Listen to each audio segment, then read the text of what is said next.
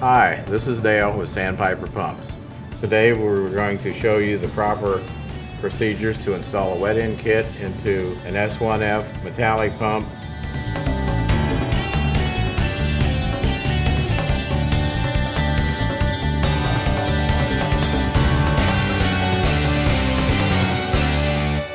The procedures you're about to see also coincide with the G1F. We're going to utilize Sandpiper genuine parts today.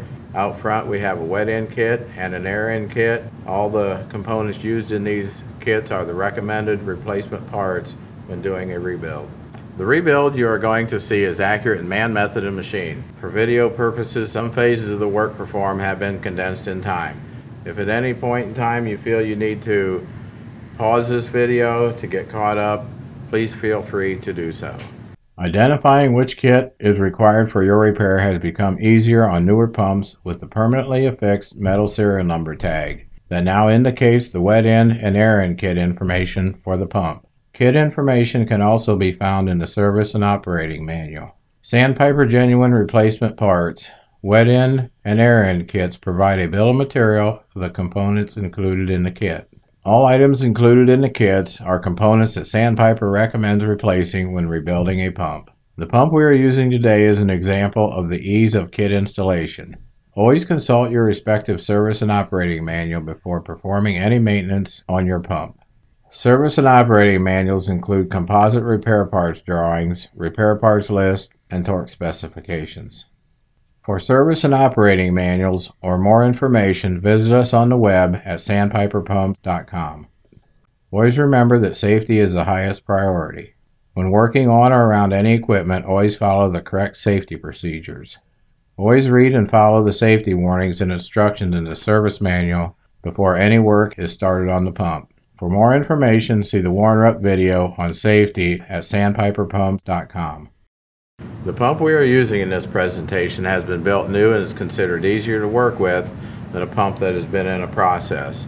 Additional time may be required for removal of outer chambers and some of the castings in this unit. These are the recommended tools used with this rebuild. While the sizes may change based on the model, the type will remain the same.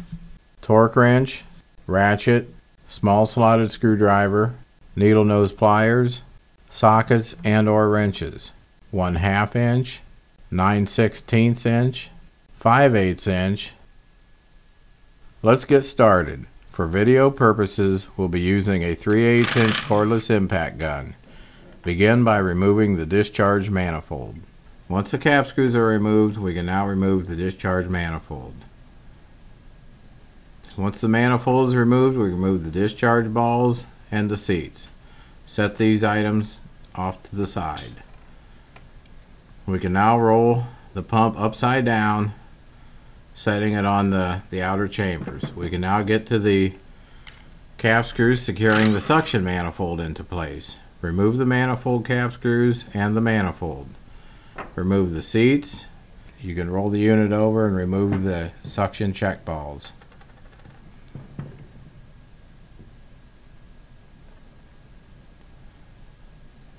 Roll the unit up on its side. We can now remove the eight cap screws, securing the outer chamber into place. Set the outer chamber to the side. We can now access the diaphragm assembly. Spin the outer plate in a counterclockwise rotation and spin the assembly from the diaphragm rod. Once the assembly is removed, you will have the outer plate, diaphragm, and inner plate assembly.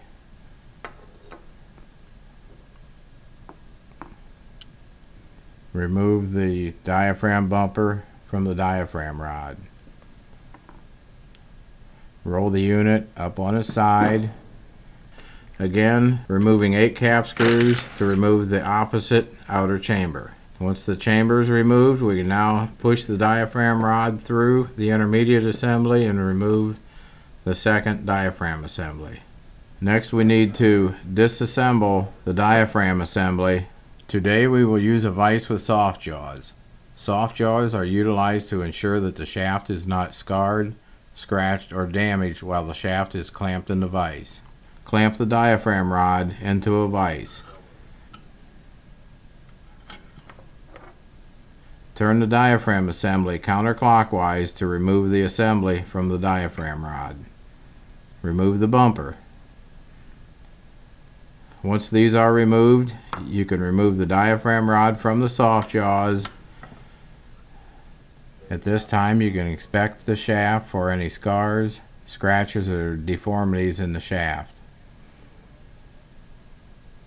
We are now ready to install our wet end kit. Remove the diaphragms, check balls, and seats from the package.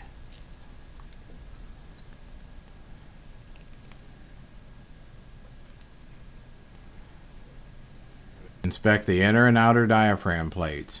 Ensure the plates have no sharp edges or scarring on the radius.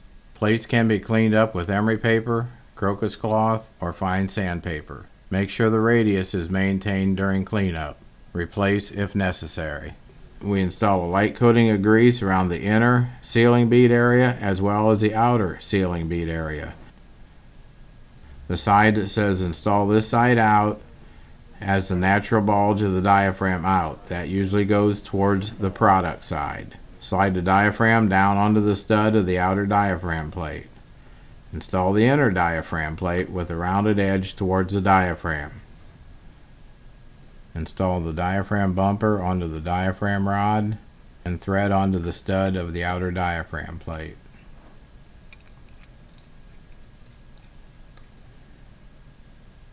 Once this assembly is threaded together, we need to check the inside radiuses of our intermediate for any imperfection and dress up accordingly.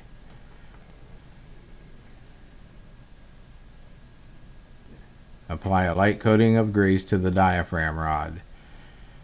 Slide the assembly into the intermediate housing. Line the holes up with the diaphragm.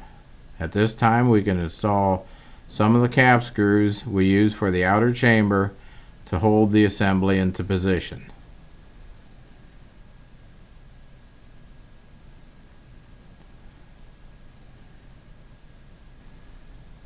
Once these are installed, we can roll the assembly over, install the bumper, and ready our second assembly for installation.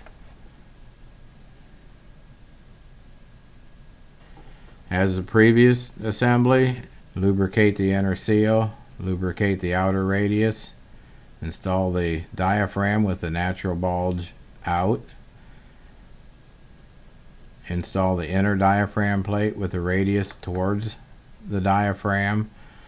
For easier installation, we want to invert the diaphragm. This assembly can easily be installed into the intermediate and catch the diaphragm shaft and spin on in a right hand clockwise position. Once snug down to the shaft, we now need to align the diaphragms to the bolt holes in the intermediate. Never go backwards on this assembly. Always tighten in a clockwise position and align the hole to the next hole ahead of you. So the hole in the diaphragm lines up with the hole in the intermediate. Once aligned properly, you can remove the cap screws from the opposite side. Now we were ready to install our outer chamber. Inspect the outer chamber for casting integrity. Inspect the machine faces and radius of the chamber for damage or material buildup. Scarring, scratches, or material buildup can be cleaned up using emery cloth, crocus cloth, or fine sandpaper. The discharge side of the chamber should be up towards the serial number plate. Install the eight cap screws to secure the outer chamber into position.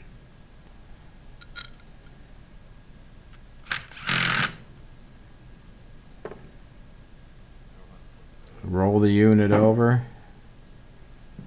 Using a pry bar, get underneath the inner plate of the diaphragm assembly and push down to invert the diaphragm to the discharge stroke. You can now invert the diaphragm over and line up the holes to install the second outer diaphragm chamber. As the opposite side, inspect the seat area where the, the check ball seats are going to go. Inspect the suction side ball cages to ensure they are in good condition. The discharge side of the chamber should be up towards the serial number plate.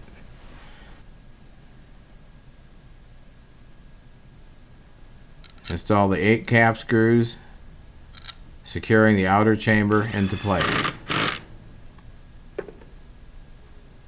Once these are installed into place, roll the unit over so the suction side of the pump is up towards you. Install the suction balls, install the suction seats. Seats can go in either way. There's no up, no down. They can go in either direction. We're now ready to install the suction manifold. Inspect the face of the manifold where the seats go for integrity. The suction manifold can go on in either direction for customer specifications.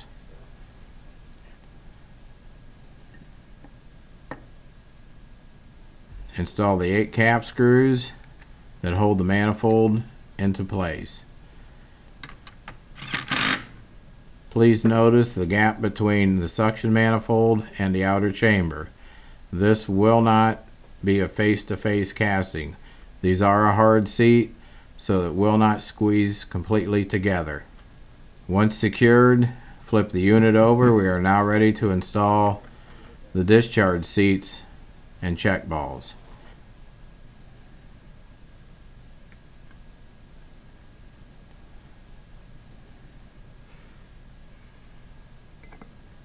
Orientation of the manifold is based on the process's requirements and may be installed in either direction. Inspect the discharge manifold, the ball cages to ensure that they are in good condition, they are not worn or any sharp edges. Install the eight cap screws and secure the manifold into position.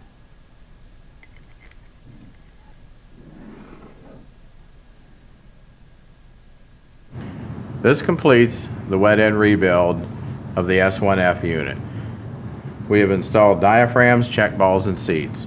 The techniques and procedures you have observed also apply to the G1F unit as well.